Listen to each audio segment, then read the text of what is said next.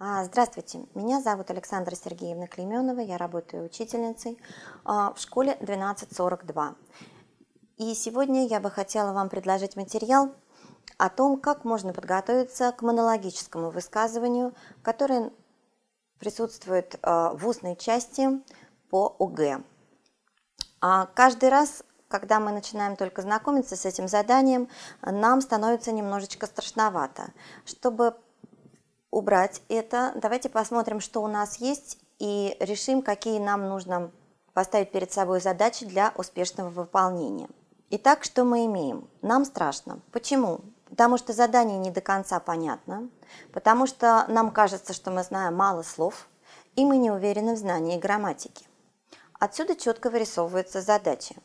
Во-первых, нам нужно познакомиться с заданием в деталях, во-вторых, нам надо научиться максимально использовать то, что мы имеем. И, конечно, стараться всегда расширить наш словарный запас и грамматические знания.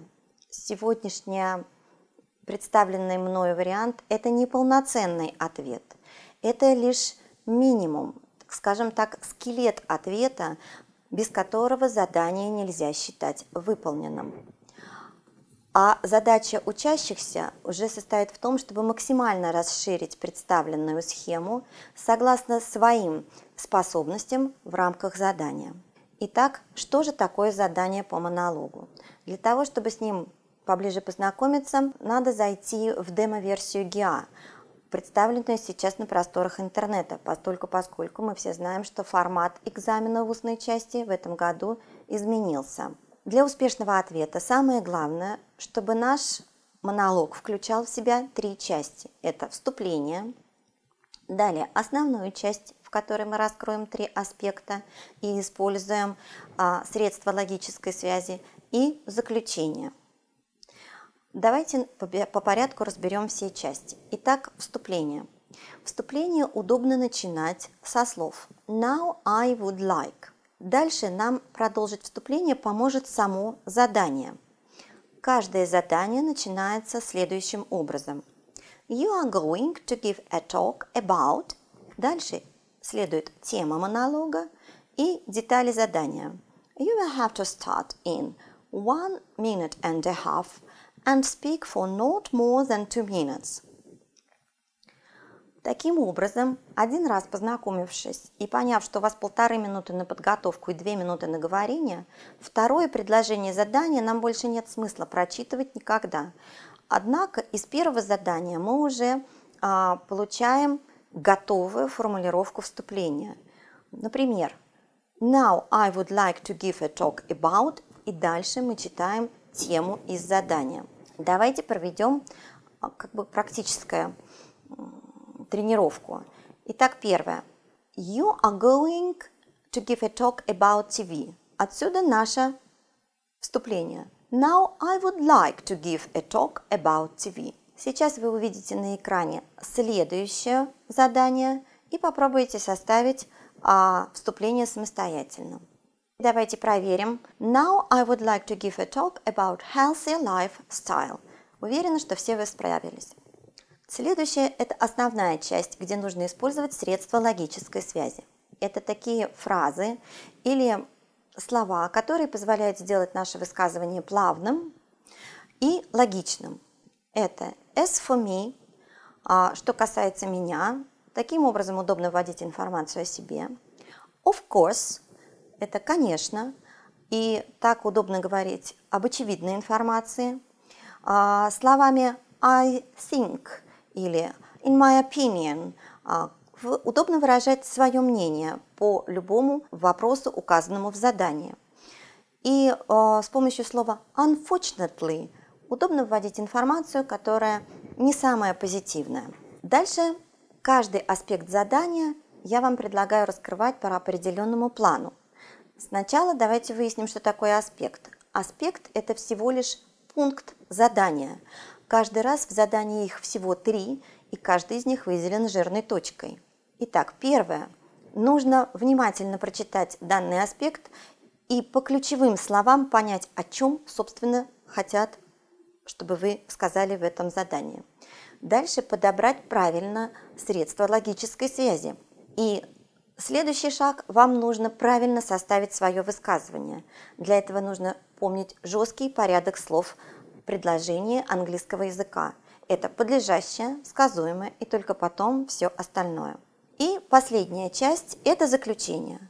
Заключение, так же как и вступление, имеет определенные клише. Заключение удобно начинать со слов finally или in conclusion или all in all. Все эти три фразы переводятся одинаково, просто в заключение. Поэтому здесь имеет смысл каждому выбрать ту фразу, которая ему удобнее произносить, легче запоминать. И каждый раз опираться на нее. Дальше удобно произнести определенные клише I would like to say that. И подвести а, как бы логическое а, завершение всему вашему высказыванию. А, это на примитивном уровне удобно сделать с помощью прилагательных. Самые распространенные прилагательные из практики это interesting, great and useful. Фактически все экзаменационные темы можно поделить а, по этим трем прилагательным. Ну, мы с вами стали разбирать э, тему TV и тему Healthy Lifestyle. Давайте попробуем именно их и распределить сейчас по этим трем прилагательным. О каких вариантах мы можем сказать interesting? А, конечно же, это больше о TV. А, о чем мы можем сказать great?